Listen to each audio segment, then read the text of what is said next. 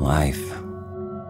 It's about being squeezed in the morning crowd, dealing with the assholes in the office, getting stuck in the traffic five days a week, spending money on the next must have thing to end the day with a little one hating you without a reason.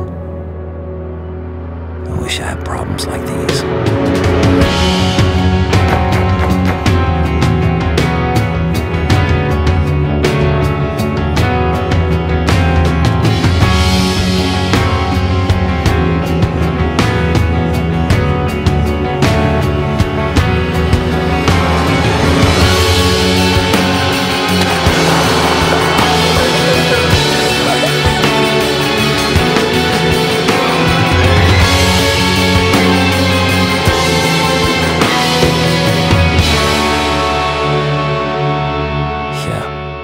I wish I had such problems.